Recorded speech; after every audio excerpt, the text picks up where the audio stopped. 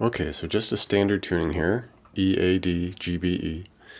And uh, for the most part, kind of four chords, but two just kind of varying configurations. Um, so basically, we start in this kind of E flat vibe, and we want this E flat with the added nine. Um, basically, we're just going to do a, a six on the A, five D, hit the open G for the octave, just might as well makes it a little easier. And then we go six on the B. Okay, nice kind of clean, maybe a little reverb on there, it's good. And there's also kind of a, a real like fuzzed out, distorted, um, you know, a lot of reverb guitar kind of faintly going along with this. So it kind of has that, uh, that real gnarly kind of lo-fi feel. And with this, we're just, you can just strum right on it like on beat, quarter note style. Something like that. And we go through, you know, about eight strums of that. Then we want to take that G and make it a seven. So now it comes like an E flat major nine. Okay, we're putting that note instead of the open G. So everything stayed the same. We just make the G in right here on the seven now.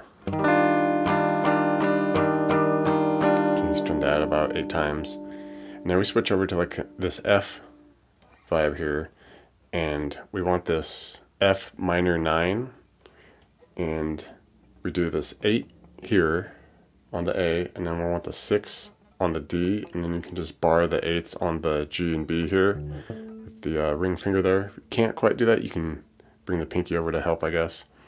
I'm fine just kind of doing that.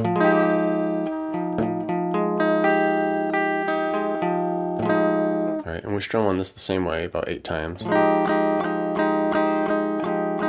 Then we want to make that 8 on the B a 6, so it becomes F minor 7. So I just kind of switch the, the barring, basically. I make the ring finger just kind of come up and hit the 8 on the G, and then I bar with the pointer here, the index. You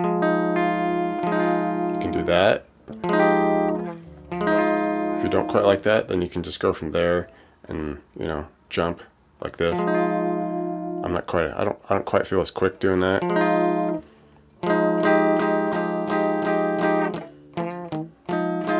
Okay, I'm not quite as as quick changing to that style, so I kind of like to just switch like that. It's fine for me.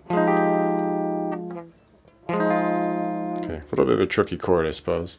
Um, if you don't like that chord, if it's not working for you, then you can just kind of you know, skip some notes and just do something down here like the 3 on the D, 5G, 4B, and then a 1 on the E here.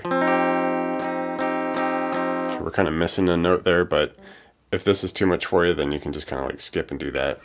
Or you can just find variations of an F minor 9 or F minor 7 that you like to play instead and just use that if you have a chord book or you can just search them out. Up to you. Uh, so basically those four chords in sequence like that, repeating, um, then we get to uh, more of a, a lead guitar. And, you know, you can get a little overdrive on this, put some reverb on there. The first bit that happens kind of in that first section, they're just kind of these long sustained notes. Uh, you start on the B with the 8. Just hold it, maybe get some vibrato. Sounds good. Then we go 7G to 8. Condensed now where we come up to 10, 5, and then just finish up the 6B. Alright, and there's a section where everything kind of gets a little like chilled out a little more and we get a little clearer of a lead coming over the top. And that's on the B here. We start at 8 to 6.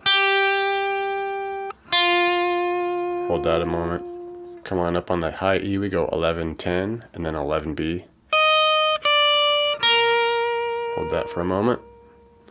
Come higher now, we go 15, 13 on the E. That holds, and then we finish with E string 11, 10, 13. And that cycles a couple times there. And after that, it's kind of repeating of the uh, previous sections. You should uh, be all set.